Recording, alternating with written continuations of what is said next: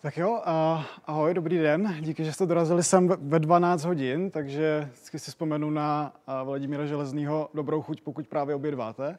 Díky, že jste, že jste místo obědu, obědu přišli na, na grafy, což je téma, který možná na Open Alt úplně nesedí, ale vlastně jo, respektive můj úkol bude zkusit vám jako přiblížit, proč mě to připadá důležitý téma, který, který sem patří. Uh, kdo jsem? Moje jméno je Tomáš Marek, jsem nebo pracuji tady na KISKu, což je katedra informačních studií knihovnictví na Fildě, na Masarykově univerzitě. A je hrozný to říct, ale poslední dekádu poslední dekádu mě zajímají vizualizace dat, čili dlouhou dobu se zajímám o vizualizaci. Začínal jsem kdysi dávno s tím, že mě zajímaly takové různé věci jako processing a umělecké vizualizace a další záležitosti, ale poslední roky mě úplně nejvíc zajímá efektivita, jak vlastně ty data vizualizovat, jak ty jako data komunikovat nějakou vizuální cestou tak, aby to fakt jako fungovalo. Co to vlastně znamená, že to funguje? Uh, když jsem dával dohromady tyhle slajdy, tak uh, já se vždycky snažím najít nějakou linku. Ne vždycky se mi to podaří. A když se mi to nepodaří, tak používám tenhle obrázek. Takže předem upozorňuji, je to jako když pejsek s kotičkou vařili dorty. Já to vždycky naházím do, do, jako do těch poznámek a pak doufám, že se mi podaří udělat nějaká linka, tak snad to bude mít, bude mít nějakou linku to hlavní téma nebo hlavní věc, kterou bych tady chtěl otevřít nebo o který chci mluvit, tak tomu se dneska začíná říkat vizualizační gramotnost. To znamená nějaká dovednost dívat se na ten graf a dokázat z něho vytáhnout z té vizualizace, ať už je to mapa, ať je to koláčový graf, sloupcový graf nebo něco jako složitýho, pokročilého, nějaký boxploty a scatterploty, další věci, vytáhnout z něho to, co tam vlastně ten člověk ukázal. A je tam i ta druhá stránka, to znamená, je to nějaká dovednost ty věci správně tvořit nějakým způsobem fakt jako udělat tak, aby předal to, co předat chci. Existuje jeden jediný člověk, který v podstatě téměř na celém světě se nějak systematicky věnuje historii vizualizace. Jmenuje se, jmenuje se Michael Friendly. A vyrobil tady tenhle ten graf. A já tady nechci mluvit o historii, jo, ale je tam jeden takový pík a on tomu říká, hele, to byla zlatá éra vizualizace. Je tam ten rok 1850, 1870.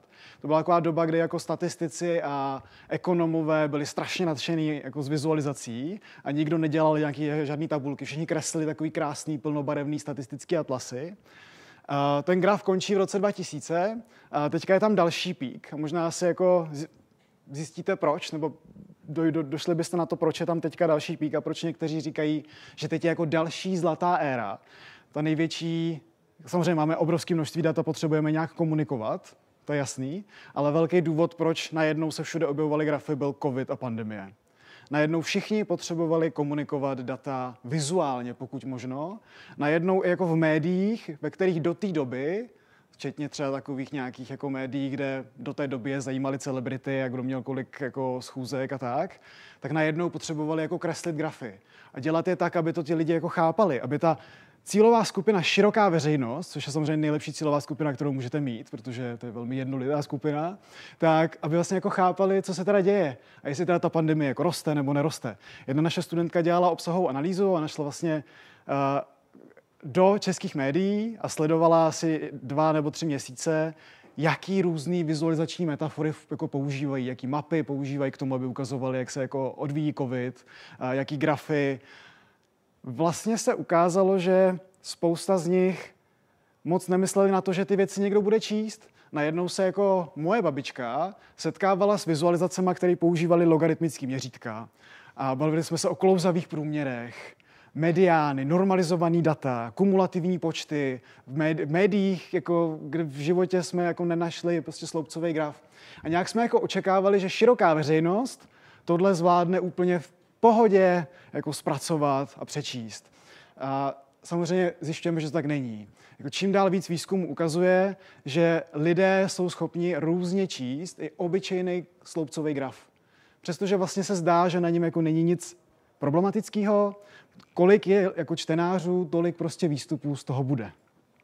Když pak jako otevřete médium a tam na vás někdo mává takovouhle jako velmi specifickou metrikou, jako je týdenní procentuální přírůst v kumulativních případech, jako COVID-19 u dětí, tak to je už jako docela jako slušný level nějakého jako myšlenkového procesu, abych pochopil, že to, na co se koukám, přestože ta linka vlastně jako klesá dolů, tak neznamená, že covid končí. To prostě jako procentuálně ano, ale procentuálně 7% z půl milionu případů je prostě něco jiného než 70% z 15 tisíc. Ale to už je nějaký jako proces, který prostě běžný čtenář jako nezvládne zpracovat, nebo ani není učený, není vedený k tomu, aby jako takhle pracoval. Má to jeden problém. Problém je, že experimentálně víme, že od tohohle grafu velká část jeho čtenářů odejde s tím, že COVID končí, přestože se děje něco úplně jiného. Problém je, že další výzkumy nám ukazují, že my máme jako velkou důvěru v grafy. Nevíme proč, ale máme studie, třeba z oblasti medicíny, které říkají, že když tam dáte graf, lidi tomu budou věřit. Máme studie třeba z medicíny, kde potřebujete účastníky svých klinických testů nějakých nových léčiv. Potřebujete lidi, kteří spolknou pilulky, který předtím nikdo jiný nespolknul, maximálně nějaký králíci, což je super. Na druhou stranu, jak ty lidi přesvědčit, vezmeme dvě skupiny, jedné dáme letáček, kde napíšeme, co to má všechno dělat, druhé dáme letáček, dáme do něj graf a statisticky významně se nám ukazuje, že tam, kde je graf, ty lidé jsou ochotní do toho výzkumu jít mnohem víc. Přesto že v tom grafu jsou úplně fejkový data a nemá to nic společného s tím výzkumem a jako vycucali jste si to z prstu. Jenom fakt, že tam je graf, prostě jako máme graf, vidím graf, je to pravda, vidím graf, je to věda. Nevíme proč, ale fungujeme tak. Problém je, že se s tím potom dá samozřejmě krásně pracovat. Že? Takže když máte jako, když víte, že lidi věří grafům a zároveň víte, že je vlastně ale úplně nemusí být schopni číst, tak můžete dělat spousty krásných věcí. Můžete nad jedněma stejnýma datama nakreslit 150 různých grafů, přičemž každý z nich bude podporovat úplně jiný jako pohled na věc a úplně jinou stranu toho argumentu. A je to vlastně na vás jako autorovi, co s tím prostě budete dělat. Asi jste se někdy setkali s nějakým manipulativním grafem. Možná jste se dívali na televizi, asi jste se možná nekoukali zrovna na Fox News, ale Fox News jsou jako slavní v tom, jak pracují s grafy. Vůbec nemůžeme říct, že nám tady někdo lže. Je tady Tucker Carlson, který mluví o tom, jak kdysi bývali prostě američani správně jako křesťané, byli jsme nadšeně křesťanský národ a teďka prostě procento američanů, kteří se identifikují jako křesťané, dramaticky klesá. Asi je vám jasný, co je tam za problém. A vlastně si jako člověk řekne, ale teď ono nám to nelže, že jo? Teď je tam napsáno, že to bylo 77% a že teďka je to 65%. A prostě z těch výzkumů víme, že spousta lidí vůbec jako nezapne to jako myšlení jako číselný a vlastně jenom vidí velký žlutý sloupeček a vedle toho je malý žlutý sloupeček, který je v podstatě třetinový. Což samozřejmě jako vizuálně neodpovídá tomu, co vlastně jako reálně se děje. Nicméně i, přes, i takových vlastně jako jednoduché věci strašně krásně fungují. Tohle eh, se objevilo na Twitteru Bílého domu, oficiálním účtu, uh, X. Uh, jak, jak rostla americká ekonomika v 21. století. Schválně si zjistíte, proč to mám tady mezi manipulujícíma grafama.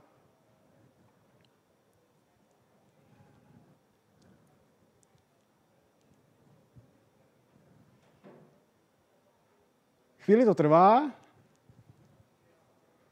Chvíli to trvá, někdo už ukazuje, super.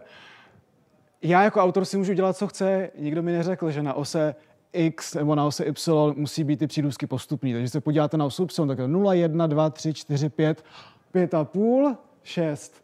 Proč je tam na jednou 5,5? No, aby tam ten poslední sloupeček vypadal vyšší, že jo? protože tam na jedno mám víc prostoru, kam vlastně roste.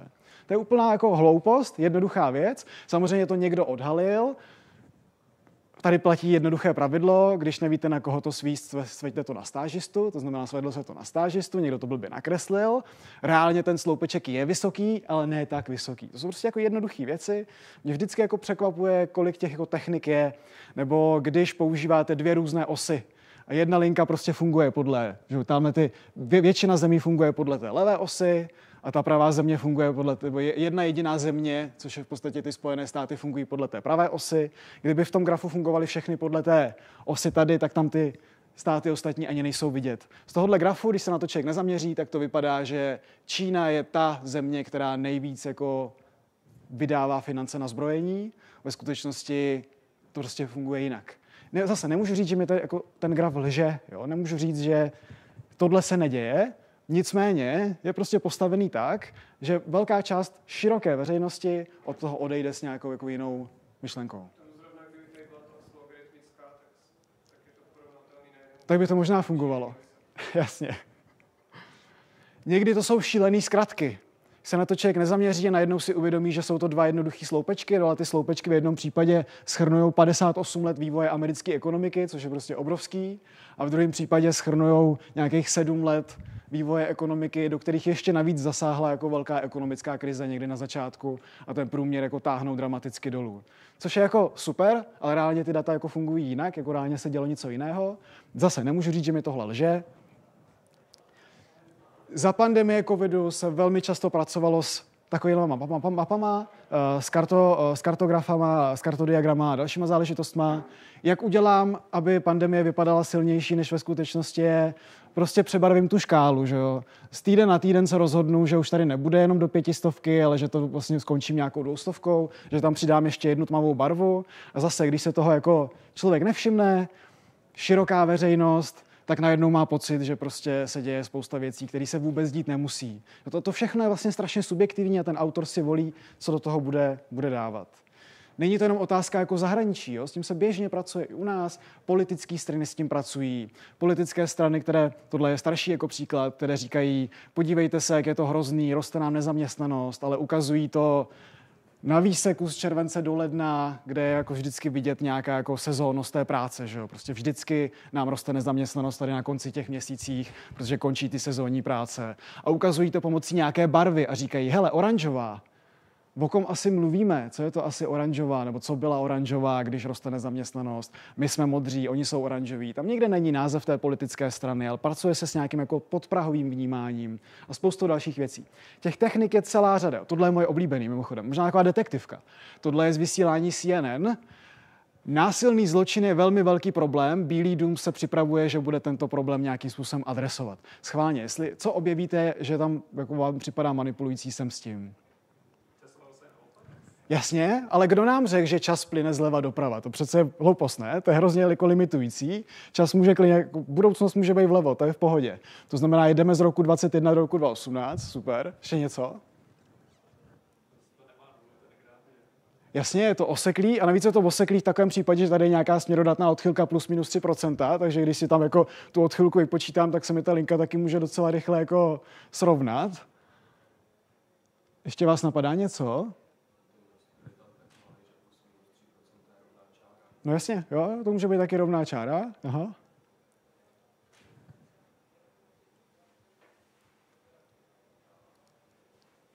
Možná se můžeme ptát, proč v roce 2020 byl jako násilné zločiny jako nižší ta hodnota než jindy. Protože jsme byli zavření doma, že jo? takže ten násilný zločin, co se odehrával doma, tak se odehrával dál, ale ten násilný zločin, co se odehrával v ulicích, tak měl dost jako limitovaný možnosti se odehrávat. A pak je možná ještě větší otázka, co to je vlastně za číslo?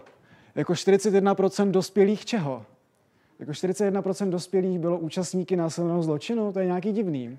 To znamená, když o tom začneme přemýšlet, začneme pídit dál, co to je vlastně za číslo a co ten Pew Research Center vlastně zkoumá, tak zjistíme prosím pěkně, že to je procento dospělých, kteří si myslí, že násilný zločin je velký problém. To znamená vlastně jako nevizualizujeme vůbec nic, ale v tom segmentu, který má prostě pět minut a ti lidé tam jako vášnivě mluví o tom tématu a pak to tam na ty pět, šest vteřin jako problikne, tak to funguje naprosto parádně. Těch technik, jak tohle dělat, je celá řada. My víme, že fungují. Teprve nedávno se objevily první články, které se to pokusili nějak jako klasifikovat. Co teda vlastně všechno můžeme zneužívat v té vizualizaci? Těch ty klasifikace jsem zatím třeba dohledal tak jako dvě, tohle je taková nejpokročilejší. A je to vlastně článek, který odhalil 75 různých možností toho, jak můžete ten graf jako pošťouchnout tak, aby ukazoval to, co vy chcete. To ale vlastně jako úplně není to, o čem tady chci mluvit. Je to jed, jako jeden z těch výchozích problémů, ten jako vstup do toho. A není to samozřejmě úplně to zásadní. Někdy se totiž může stát, že vlastně jako ne, nedokážeme předat tu informaci tou vizuální formou proto, protože vlastně jako neumíme vyjádřit to vizuálně. Tohle je třeba vizualizace z deníku, kde mapovali někdy v počátku pandemie koronavirus v Česku. A tahle vizualizace třeba úplně zapomněla, že existuje něco jako gestalt, zákon podobnosti, který říká, hele, prostě když se na to člověk bude koukat a uvidí, že tamhle to čísličko je červený, tak se mu automaticky spojí s tou červenou linkou a bude očekávat, že ta červená linka je to červený čísličko, protože takhle ten mozek prostě funguje. Takže když prostě uděláš velký černý prostě kolečka, který nějakým způsobem jako rostou a zvětšují se, a k tomu napíšeš číslo 9 tou stejnou černou a napíšeš, že to je 9 mrtvých, tak se to prostě v hlavě většiny příjemců spojí, že to je ono, to je to, co vizualizuju. Což vám asi na první pohled začne připadat podezřelý, protože máme víc krajů než mrtvých. Tak proč jsou všude kolečka? Tak buď některé kolečka jsou nula, v takovém případě se jako, taky to úplně není optimální varianta, a nebo to teda není počet mrtvých, ale je to úplně jiný číslo. A jaký to je číslo, nezjistíme, protože to tam vlastně nikde není, ani v tom článku, kterým to bylo jako, jako zapojený, to vlastně jako napsaný nebylo. Nedávno jsem se koukal na českou televizi, na zprávy z regionu a díval jsem se těžba dřeva ve Zlínském kraji. A říkal jsem si, jo, tak to je vlastně zajímavý, že ta těžba toho kůrovcového dřeva už tak jako dramaticky klesá oproti té jako těžbě toho klasického dřeva. A pak jsem se ještě rychle stačil podívat na tu osu. A říkal jsem si, aha, tak ono to možná není tak jednoduchý, oni možná ten tvar těch linek je ve finále úplně jiný.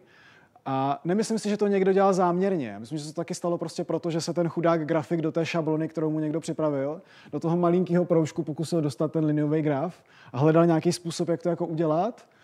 A takhle to dopadlo.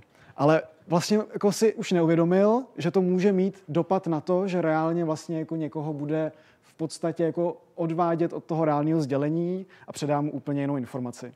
Když otvírám diplomky, třeba i od nás z katedry, úplně na férovku to přiznám, tak úroveň té grafické komunikace není úplně velká vždycky. Uh, ty grafy ne vždycky fungují. U spousty těch grafů mám pocit, že nikdo nepřemýšlel nad tím, proč je vlastně dělá, k čemu tam ta věc jako je. Typicky grafy velká, velké zelené, prostě velká zelené koláče mapující jedno jediné číslo, kterým často bývá číslo jedna, uh, což jako je, proč vlastně takovou věc jako vytvářím. A ono se to ale potom propisuje, třeba jako nemáme vlastně, vlastně dlouhou dobu třeba jsme na katedře vůbec neměli žádné jako vzdělávání v tom smyslu jako té vizuální komunikace. Pak se to propisuje i jako do té vědy, kde vlastně otevřete jako velmi prestižní článek v prestižním časopisu Nature a tam se díváte na tohle a 40 minut přemýšlíte, co to vlastně je a jak se to čte, abyste pak rezignovali, protože to prostě nejde. Čili realita je taková, že Máme lidi, kteří vědí, že se tím dá jednoduše manipulovat. Máme obrovskou masu lidí, kteří se snaží vizuálně komunikovat, ale vlastně nikdy jako jim nikdo neřekl a neukázal, jak se to dělá a jaký to má může mít problémy. A nikdo jako nevedl k tomu nějak aktivně o tom přemýšlet. A vlastně se to jako úplně neučí a jako téma se to v rámci vzdělávání moc neotvírá. Což se teďka trošku mění. Já když jsem začal vizualizaci dělat, tak jsem přemýšlel, co s tím a jak se to naučit. A vlastně jsem si říkal, OK, tak super, zjistil jsem, že na trhu existují příručky. A že v příručce se dočtu, jak se to dělá. Přímo se to jmenuje Co dělat a nedělat, když prezentujeme data. Po pár letech musím říct, že je to fajn pro určitý kontexty, ale že to vlastně není úplně optimální, protože nás to hrozně limituje. Protože to, co mě vlastně připadá důležitý, je, že ten graf, ta vizualizace je nástroj. A ten nástroj můžou různí lidé používat různě. Neexistuje jedna jediná správná cesta. Jasně, někdo se naučil tím nástrojem, jako kladívkem nebo čímkoliv jiným, prostě manipulovat lidi. A když už si uvědomuje, že to dělá, tak to je jako docela vysoký level vizualizační gramotnosti. To je super. Uh, Často ale chceme jako tím věc, jako získat nějaký vhled nebo komunikovat nějaký vhled, nebo, nebo motivovat někoho, aby něco dělal jinak, nebo aby něco začal dělat.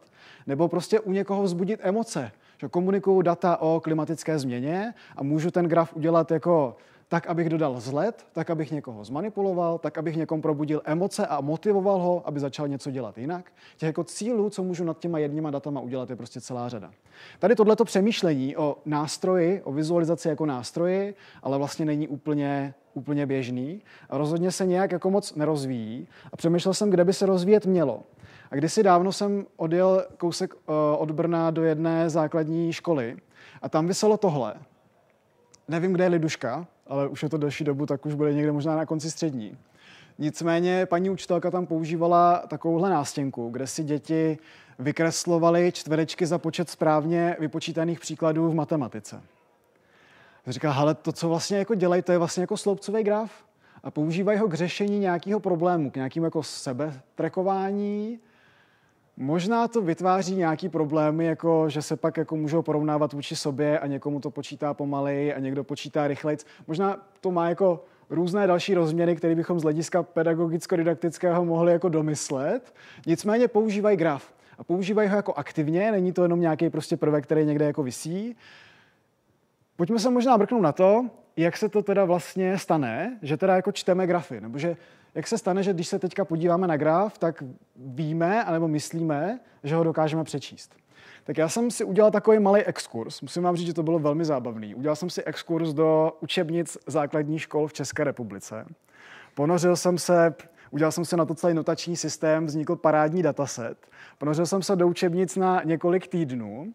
Eh, musím říct, že se mi potom už o úlohách tohoto typu i zdálo. Na diskotéce na Mítince je 96 účastníků, třetina jsou rusalky, zbytek jsou hejkalové a bludičky. Hejkalu je o 14 víc než bludiček, jaké je složení účastníků diskotéky s názorně figurálním diagramem. Nejlepší. A, a díval jsem se na první stupeň, díval jsem se na první stupeň základní školy a díval jsem se, kde se ty grafy vlastně vezmou a jak se vlastně jak jako vznikne ta dovednost, že teda stojíme před tím sloucím grafem a dokážeme ho přečíst. Ono to vlastně začíná už ve školce. Ono to začíná, že tam ta nějaká tam jako přirozená posloupnost toho, jak vlastně se zvyšuje ta abstrakce. Že? Začínáme tím, že máme jako počítáme jablíčká hrušky. Najednou v těch učebnicích ty kreslené jablíčká hrušky se tak jako dostanou k sobě a začínají vznikat nějaký množiny. A já vidím, že tady mám nějaký čtyři a tady mám nějaký tři. Najednou se začnou jako řadit do nějaké struktury, začnou být pod sebou, nad sebou, vedle sebe a začínám vlastně počítat, odčítat a další záležitosti. Pak přijde nějaký jako první stupeň abstrakce, který řekne, hele, jedno jablíčko to je jedna kostička a už to vlastně jako není to jablíčko a začne to být nějaký jako abstraktní prostě geometrický tvar, ale já pořád vím, že to jako reprezentuje to jedno jablíčko. Pak k tomu přidám ještě jeden jako level abstrakce, kdy řeknu, hele, jedna ta kostička není jedno jablíčko, ale jich tam pět kde jako, jako dokáže zase jako víc abstraktně uvažovat o, to, o tom, jak pracuji s tím číslem. A to už asi vidíte, že jako malinký krok od toho, aby se tam najednou teda začaly objevovat ty sloupcové grafy a abych vlastně chápal, jak jako fungují. Což se samozřejmě nedá říct o spoustě jiných grafů, který se tam někdy objeví a já vlastně nemusím chápat, jak fungují. Ale zhruba takhle ta jako posloupnost funguje a vlastně to ty české učebnice docela drží, ale ne vždycky. V českých učebnicích na základní škole grafy jsou.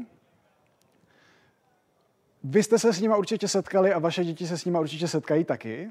Možná si to nebudete pamatovat, protože možná nebyly tak zásadně zajímavý, nebyly v rusalkách a byly to figurální diagramy. Nicméně ty učebnice jsou fakt extrémně různý. Jsou učebnice, kde dlouho, dlouho, dlouho nic a ve třetím ročníku, když je vám 8 nebo 9, kreslíte histogram. Já, když jsem nastupoval na bakaláře, tak jsem netušil, co je histogram, musel jsem si to vygooglit. A myslím, že jsem ještě dlouhou dobu nechápal, jaký je rozdíl mezi histogramem a sloupcovým grafem.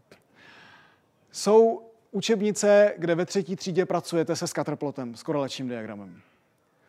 Ale třeba tam chybí i jakoby ta, ta posloupnost, že to tam najednou je, je to vlastně součástí nějaké úlohy, ale já si jako nedokážu představit, že bych vlastně jako chápal, k čemu je to dobré a co s tím mám dělat. Jsou učebnice, kde to třeba jako je vysvětlený hezky. Jsou učebnice, kde se pracuje s histogramem, a vlastně super, že já odcházím na druhý stupeň základní škole, vím, co je histogram, ale zároveň je to podaný tak, že jako chápu, jak funguje ten proces, jo? že vím, proč to tak vypadá a je to jako zapojený do nějakého delšího procesu toho, jak se ta věc vlastně buduje. Pak jsou taky učebnice, kde ve třetí třídě kreslíte grafikon železniční dopravy. Což mě překvapilo hodně. Uh, je to super, jo? Pokud jste někdy neviděli grafikon repla, uh, železniční dopravy, tak vaše děti ho možná uvidí. každopádně, každopádně jako tě, tě, ten přístup je fakt extrémně různý a ty učebnice opravdu k tomu přistupují různě. Uh, jsou učebnice, kde ty grafy vlastně jako vůbec třeba ani, ani nejsou. Mě pak zajímala ještě jedna věc. Jsem si říkal, dobře, tak jsem si dostudoval prvostupňovou matematiku, tak si zkusím dostudovat ještě další věci. Říkal jsem si, dneska se hodně mluví o tom pronikání těch oborů, že, že jako ano, tady děláme tohle, ale pojďme jako ty věci nějak jako kombinovat dohromady. Tak jsem si říkal, OK, tak graf, vlastně špat, možná je blbý komunikovat ho, že to je ta věc, která se dělá v té matematice. Možná by bylo důležité ukazovat, že to je jako ta, ten nástroj, který se používá ke komunikaci dát i v těch jiných oborech. A na první stupni základní školy máme něco, co se jmenuje člověk a jeho svět, to je vzdělávací oblast. Máme matematiku a pak máme člověka a jeho svět. A tam patří všechno to, co se potom rozjede do takových těch předmětů jako vlastivěda, dějepis a podobné záležitosti. Tak jsem vzal učebnice ještě z téhle oblasti a díval jsem se, kolik je těch grafů tam a jakým způsobem fungují. A ukázalo se, že jich je tam samozřejmě mnohem míň, že zatímco u té matematiky se dá očekávat, že najdete téměř čtyři grafy na 100 stránek v průměru, tak u těch ostatních je to jako s odřenýma ušima jeden graf na 100 stránek. A pokud by vás zajímalo, který, který graf uvidí téměř každý občan České republiky, který prošel vzdělávacím systémem, je to tenhle. Nechci říkat, že, o sebe, jako, že od sebe autoři opisují, nicméně v každé učebnici je koláčový graf složení vzduchu. Prostě to je vždycky. Jenom jedna učebnice si dovolila eh, přistoupit k tomu jinak než podobou koláčového grafu. Je to skládaný sloupcový graf. Jen bych vás tady upozornil na tu výbornou, eh, výborný námět k pozorování třeba na přestávku. Otázka, jak dlouho vydržíte bez příjmu kyslíku. Což si, což si myslím, že je pro děti třeba ve třetí třídě úplně geniální, geniální aktivita, aktivita k pozorování. Eh, kolik sekund v závorce minut vydržíte, vydržíte bez příjmu kyslíku? Důležitý vlastně taky je přemýšlet nad tím, ne jestli tam ty grafy jsou nebo nejsou, a jestli se s tím ty děti jako setkávají a jsou nějak jako vedený k tomu, aby dokázali nebo byli schopni je číst a přemýšleli o nich jako o nástroji, ale vlastně co ty grafy taky dělají, jo? k čemu jsou vlastně jako dobrý. A překvapivě velká část těch úloh je zaměřená na jednu typickou aktivitu a to je aktivita přečti z grafu číslo a zapiš ho do tabulky. Což jako není úplně jako ten typický jako use case ze skutečného života. Jako, ano, rozvíjí to tu dovednost jako číst ty čísla, odhadovat je z toho grafu, ale jako velmi málo děláte to, že přepisujete čísla z, graf, z grafu do tabulek, že většinou ten jako postup je opačný. Těch tvůrčích úloh je tam opět extrémně malé množství oproti těm čtecím, a ty tvůrčí úlohy jsou většinou zase takový, takový jako příklad typu, tady máš tabulku, tak z té tabulky vytahají ty čísla a nakresli ty sloupečky. Ale zase tam není jako žádný zapojení do toho jako reálného životního jako procesu, do nějaké situace, do nějakého řešení problému. Úlohy tohohle typu, kdy dostane jako žák šablonu a má tam podle sebe zakreslit, z čeho se skládá jeho den, kolik času spí, kolik času cvičí nebo někde se hýbe, kolik času stráví ve škole, jsou vlastně hrozně jako vzácný ale přitom toto je, toto je vlastně ta, jako ta cesta, která možná vypadá jako dobře, protože pak já jako zaprvé to řeší něco mýho, já se můžu podívat, jak vlastně ten můj den probíhá, ale může na to navázat spousta dalších aktivit. Já to můžu vzít do nějakého diskuzního kolečka a dívat se, kdo má jaký den a proč je tady a proč tady někdo sedí u počítače tak dlouho a proč tady někdo jiný ne. A jako vytváří to nějaký, jako, ten, ten, ten graf je najednou fakt ten nástroj, který vlastně umožňuje s tím jako pracovat. Jo? Není to jenom výsledek, tady nakresli graf a za něj dostaneš jedničku nebo pětku a, a s Bohem. Tahle metoda má hrozný velký limity a ten limit je, že učebnice není všechno že učebnice mají pořád dramatický dopad na to, co se děje ve třídách. Jsou výzkumy, které říkají, hele, práce s učebnicí je čtvrtina toho, co se děje prostě jako ve třídách. A i když vlastně ta práce s tou učebnicí není, tak to ovlivňuje ty učitele a učitelky, kteří vlastně připravují ty, jako, ty obsahy, co se v těch hodinách bude dít. Samozřejmě otázka, jak k tomu přistupují ti samotní pedagogové. Jestli o těch grafech vůbec přemýšlí, jestli je nějakým způsobem rozvíjejí, jakým způsobem k tím přistupují. Existují zářné výjimky, když jsem našel tady, tady, eh, tady třeba eh, jednoho učitele na Twitteru, který vlastně používá radar chart, aby v historii, v dějepisu vlastně si kreslí jako rozdíly mezi před před zemědělskou a postzemědělskou společností a vymýšlí si ty osy. Zase používá ten graf jako nějaký nástroj, nikoli jako výstup nějakého prostě úkolu. Nebo využití takzvaných tangibles, to má nějakých jako hmatatelných fyzických věcí. Jo, že já tady, tohle teda není jako ze základní školy, nicméně je to ukázka tady uh, uh, z, jednoho, z jednoho workshopu, kde ten autor vlastně používal štětičky prostě na čištění jako, jako ty, ty, ty, ty prvky, které vlastně za, zastupují ty čísla a i takhle se s tím dá vlastně na té, na té, škole, na té škole pracovat. Otvírá se spousta materiálů, no, při, při, jako začíná se objevovat ne spousta, začínají se objevovat materiály, včetně jako otevřených zdrojů, který vlastně ti učitelé můžou nějakým způsobem využít, eh, když se snaží s těmi grafy pracovat na tom základním stupni a hlavně mě vlastně jako mě osobně zajímá jako ten první stupeň, kde vlastně jako vzniká ta dovednost číst ty základní grafy. Jsou to různé aplikace, které velmi často, jako, velmi často vznikají v rámci nějakého výzkumu, což v praxi znamená, že někdy jsou a někdy nejsou otevřený, někdy jsou postavený tak, aby sloužili k sbírání těch jako dat. To znamená, snažíme se popsat, jak děti pracují s tou abstrakcí a nejde nám o to vytvořit co nejlepší jako aplikaci, aby to bylo použitelné na různých zařízeních prostě ve školách. Nicméně existuje to, dá se s tím nějakým způsobem pracovat. Začínají se objevovat první prostě hry pro mobilní telefony, které rozvíjejí tu jakoby dovednost přemýšlet o grafech. Hodně se pracuje s těmi, s těmi jakoby fyzickými tokeny a věcmi, kteří jako dokážou nějakým způsobem lépe, uh, lépe propojit ten digitální a ten fyzický svět. Tohle teda jako třeba ty karetní hry, tak to nejsou úplně otevřený vzdělávací zdroje, to jsou naprosto komerční věci, které byly původně dost, jako určené třeba pro, uh, pro dospělé. Třeba Charty Party bylo jako fakt jako karetní deskovka pro dospělé na nějakou party a pak vlastně někoho napadlo, že by to možná bylo jako strašně super i jako pro děcka tak vytvořili verzi, která má přímo v rohu napsáno, tato verze je i pro děti, kde ty kartičky dostaly trošku jiné jako myšlenky, docela zásadně, ale taky je to něco, jako s čím se dá pracovat a čím se dá přemýšlet. Otázka je samozřejmě, jestli o tom ti pedagogové vůbec přemýšlejí, což je ale otázka, na kterou já zatím nemám odpověď a vlastně na to zatím nemáme odpověď vůbec, protože je to relativně jako nová gramotnost, jejíž jako důležitost se objevila, nebo tak jako nasvítila až teďka v rámci té pandemie toho covidu, kdy vlastně jsme si uvědomili, že máme tu širokou populaci, která, která ty grafy eh, nedokáže úplně dobře vnímat. Existují třeba skvělý materiály potom pro další stupně vzdělávání, pro středoškoláky, kdy třeba Times si mají svoji vlastní stránku, eh, kde vlastně můžete si stáhnout jejich grafy a každý týden, myslím, tam je k tomu celý jako metodický materiál. Jako pojďme se s studenty bavit nad tímhle tématem, jsou tam nějaké otázky, jaký si pokládat, jaké debaty o tom vést. Zase je to jako skvěle připravený jako materiál, ale je to na střední školu, pro ty základní školy toho opravdu moc, moc není, přestože tam vzniká jakoby ta základní dovednost. se s kočičkou. Spousta věcí, jo. Tak já vlastně jsem přemýšlel, co si z toho vzít, protože jsem si říkal, že určitě tady nebude jako velké množství lidí, kteří učí na základní škole. Je tady někdo, kdo učí na základní škole? Super, super. Říkám si, jako, co si z toho vlastně odnést, pokud nejste, nebudete nutně jako ti, kdo jako teď to můžou nějak ovlivnit, eh, to jako základoškolskou výuku a přemýšlet o těch grafech a hledat ty cesty, jak je tam teda implementovat tak, aby jsme teda vychovali tu, uh, tu jako širokou populaci a veřejnost, která k tomu bude přistupovat uh, trochu jinak.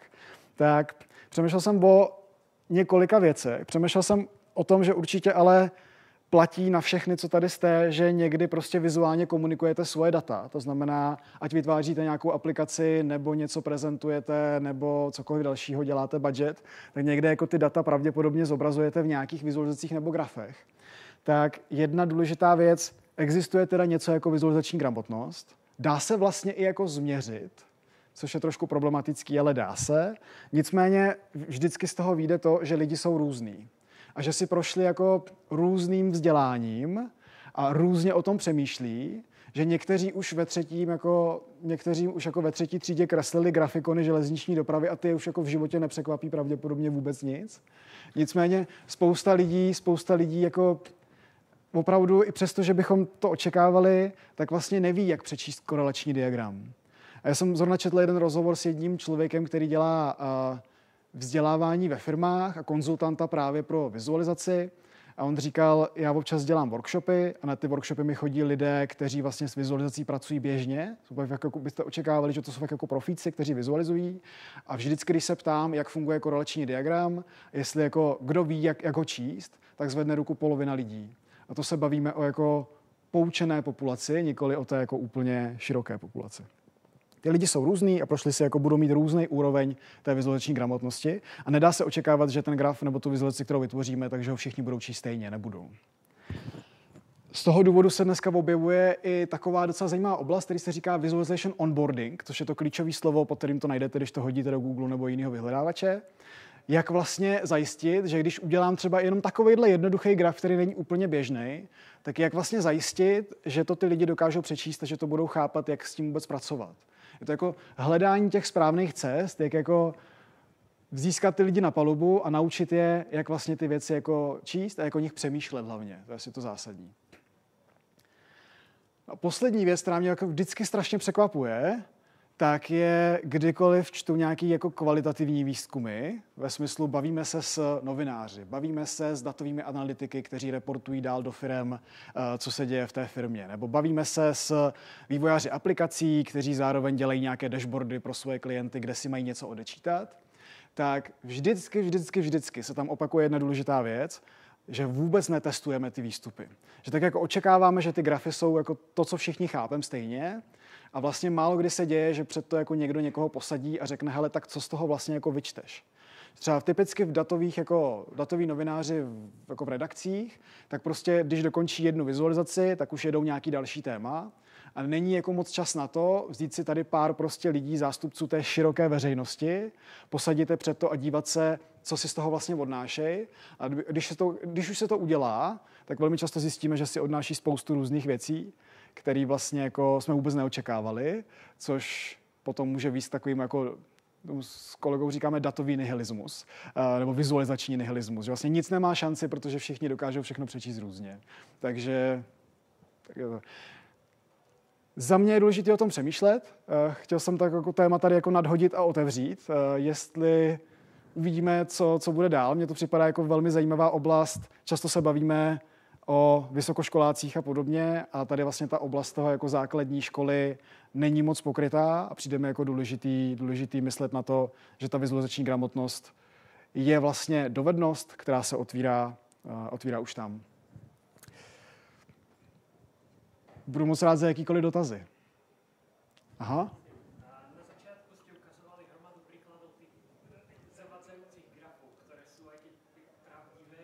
Jasně. Jasně. Jak mám z toho odčítat číslo? To je jako po částiach nebo to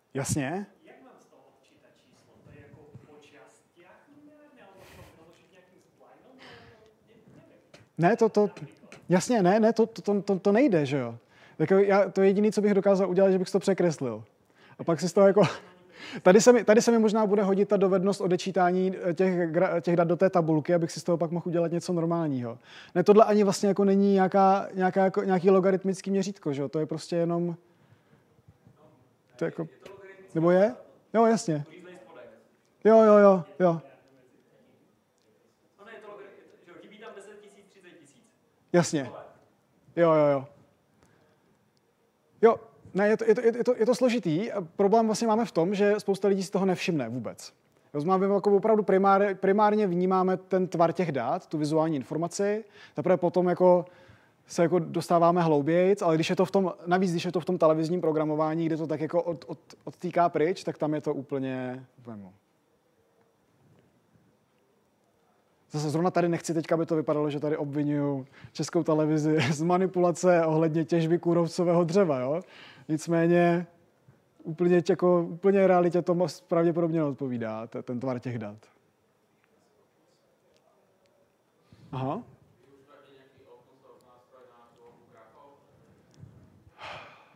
Já osobně...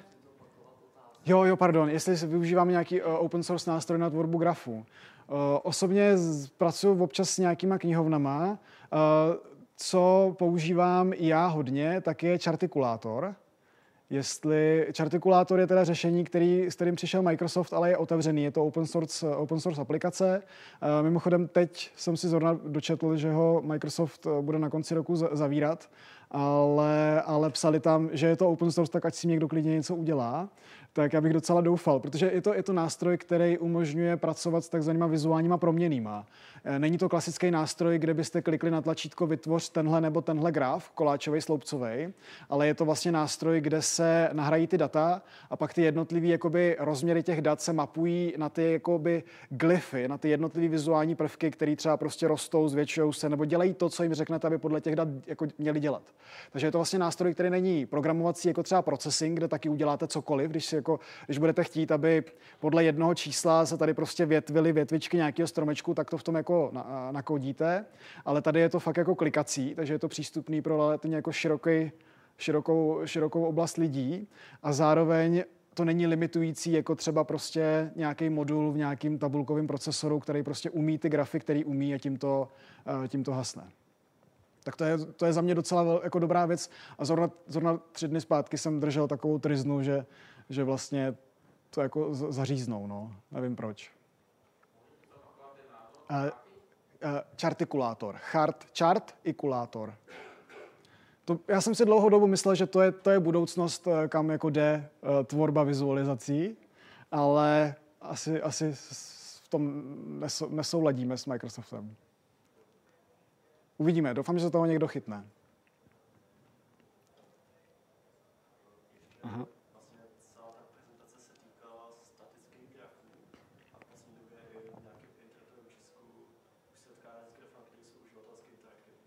Ano.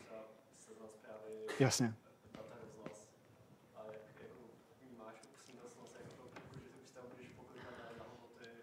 Jo, jo. No, je to ještě čtyřikrát komplexnější vlastně celý, protože z hlediska toho tvůrce je důležitější přemýšlet o tom onboardingu a o tom vlastně, jak jakoby, Protože strašně důležitý v čtení grafu je, jak ten člověk, z jakého místa on se vydá. To znamená, kde začne. Co je ten jeho jako vstupní, vlastně ta vstupní myšlenka. Takže ta vstupní myšlenka může být jeden třeba jako silně zvýrazněný prvek, který pak kompletně ovlivní to, jak s tím grafem dál pracuje, nebo co si v něm filtruje a podobně. Nebo to může být nadpis, který je nějakým způsobem jako zabarvený, který vlastně potom fakt jakoby ovlivní to, jak vůbec vnímá tu vizuální informaci, bez ohledu na to, jestli si ji může nebo nemůže naklikat úplně sám. Takže za mě je to vlastně jako komplexnější ještě v tom, že vlastně já jako autor nemám pod kontrolou, co v tom ten člověk dělá, což je super, protože on do toho zase může přinést jako svoje vhledy a může v tom najít sám sebe v těch číslech a tak dál. Teď myslím jako sám sebe a životní smysl, ale jako sám sebe jako v nějaké jako skupině. Uh, takže mně to vlastně přijde dobrý, ale mám pocit, že teď se vede taková debata minimálně v, mezi datovými novinářema, třeba jako v zahraničí, co z toho preferujou, protože vlastně ta interaktivita jim jako je limituje v tom, v tom storytellingu, v tom, jak vlastně jakoby vypráví ten příběh a jak do něho pasují ten graf. Takže hledají nějaký takový jako harmonii mezi tím, že ano, je to interaktivní a můžu si překlikat spousty věcí, ale ten první vhled, který dostávám, je nějak jako připravený. V podstatě tady je vybraná nějaká linka, tady je vybraný nějaký rozsah, který jako spadá do toho příběhu, který já vyprávím. Že to takové jako Jo, ale jak je to jako silná věc, jenom je to ještě vlastně horší v tom, že tady už jako vůbec nemáme výzkumy o tom, jak s tím ty lidi vlastně interagují a co si o tom myslí a jak s tím pracují. Protože tam se ty výzkumy i blbě dělají, protože třeba teď začínáme na katedře u nás hodně frčí eye trackingové výzkumy, tak jsme někteří studenti nebo studentky dělali vlastně eye trackingové výzkumy jakoby statických vizualizací, třeba pro projekt Fakta o klimatu a podobně. Eh, že mám vlastně, že, že mi to sleduje, kam se ten člověk kouká. Že ho posadím před graf a ono to jako zaznamenává, jak tím grafem prochází, na co se dívá, kam, kam postupuje. Když do toho třeba i mluví, tak je to vlastně jakoby, jak o tom přemýšlí u toho. Těch metod je celá řada, ale u té interaktivity je to vlastně limitovaný v tom, že ten jako podkladový materiál se neustále jako mění, takže tam těch metod je, jo, vlastně, vlastně to vůbec jako moc neskoumáme zatím. Jak pracují uživatelé s interaktivníma vizualizacemi moc toho nevíme. Aha.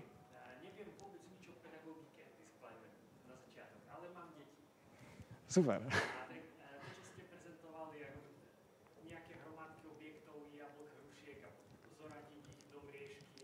Aha.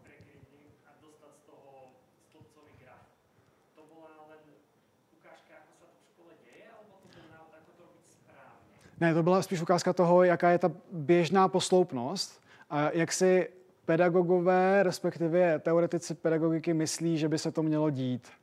To je jako založený už na nějakých výzkumech 70. 80. let o tom, jak funguje ta abstrakce.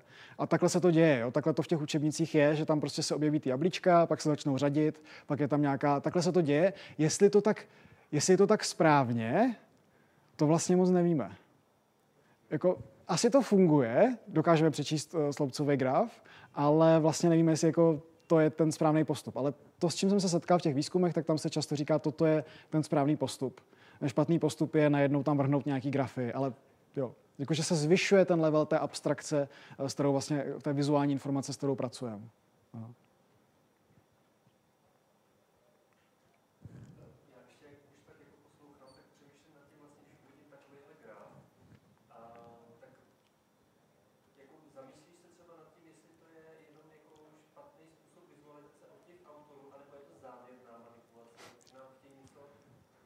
No,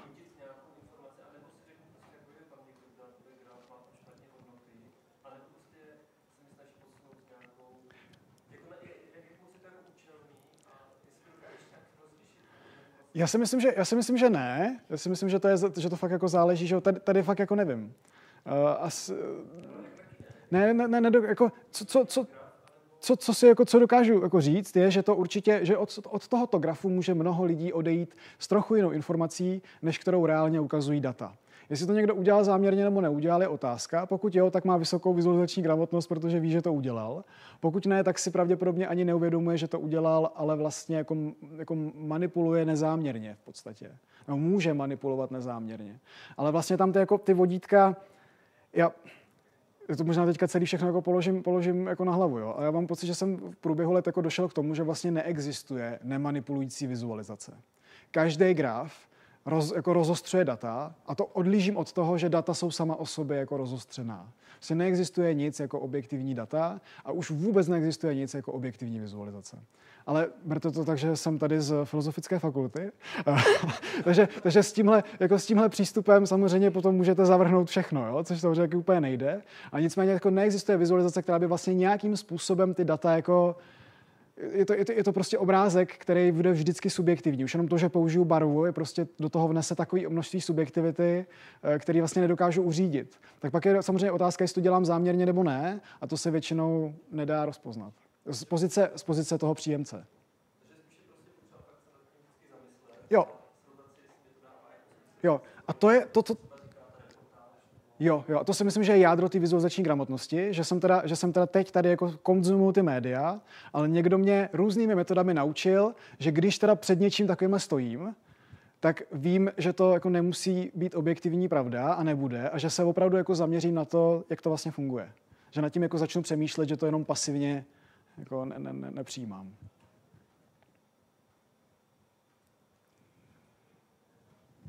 Tak jo? Tak moc díky.